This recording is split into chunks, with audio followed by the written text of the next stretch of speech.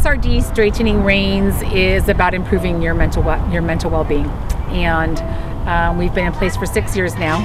We started in December of 2011, about eight months after I lost my youngest daughter to suicide.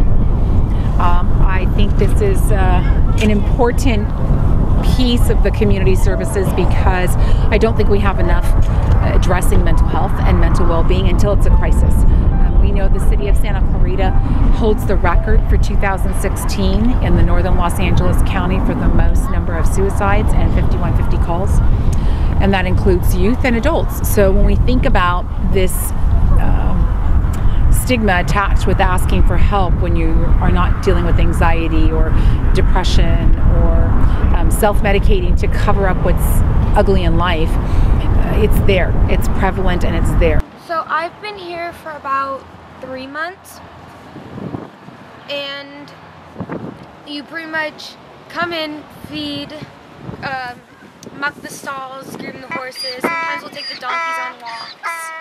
We do waters and stuff. Every other week I come four days, and then the other weeks I only come on the Saturdays. Because it's Monday, Wednesday, Friday, Saturday. It's a place that you can just come and relax. If there's any stress in your life, you can just like come here, be with the animals, like forget about it. But like, you always know you're gonna go back to it, but you'll always have a place for two to four hours to be with the animals and just completely relax about everything else that's going on in your life. This is our Palomino Jax. He likes to eat. and then this is Mia. She's our Mustang. She's very tiny, but she's full grown. She's seven years old. We'll learn how to like uh, do tack on them. So or we'll like feed the hens and stuff, but we haven't really been with them in a while. I have been going here for since sometime last year actually, um, and I was helping out when Miss Rocha moved. Um, I always like help muck and feeding. Um, these horses here cleaning are really nice. What? Cleaning up rocks. Cleaning up rocks.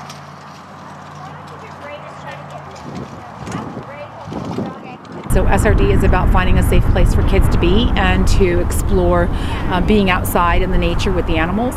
And then in addition to being a safe place, we have um, counseling services where we have um, clinical staff that work with the animals to provide services for our families, whether it's our youth or their families. Um, volunteers come, we have opportunities four days a week and uh, we they help keep the place up. They take care of all the animals, they take care of feeding them and grooming them, maintaining the property. Herd animals like our horses or our donkeys are they're similar to humans in the fact that humans are herd animals as well. So we as a creature want to be together. We just have to find the right place where we fit. And that's exactly what happens with herd animals. They have an alpha in charge of the herd, they have someone else who's the dominant one, and they, they work together as a herd to be protected. So when we use uh, in the structured therapy, the, the um, medical staff or the mental health staff will point out and set up scenarios for the family or the youth to see what's happening in the herd. So it's not traditional talk therapy, but it's therapy where they're looking at the horses and they're engaged with the donkeys and they start to realize, oh my gosh, this is how I behave in a herd, or this is how I look when I'm going through um, a tough situation, or I'm anxious about something. They watch the horses twitch their ears, or they watch the horses um, stomp their feet. Experiences are engraved or ingrained in your body and your brain, and we don't just live them right now, but we relive them later.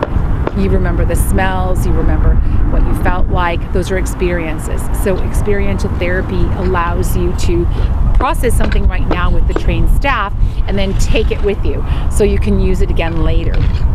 The idea when we're having volunteers or we have our ranch crew that's here, they have experiences with the horses. They start to realize, I like being outside, or I developed a friendship with a person who's at the ranch the same day as me, and they like to do the same things I like to do. So they establish a friendship that they didn't have or wouldn't have had.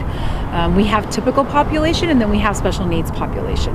They all come together, they all work together. So it's important that we recognize how we coexist because some of our mental um, health issues are an individual feeling like they're being attacked. They're feeling like they don't fit. And a lot of times that happens because they don't communicate. They're not able to um, express their needs when they're special needs kids. And so we work on developing those mentorships when they're here at the ranch. Oh, I got it, I got it, I got it. Oh, it's so close, so close.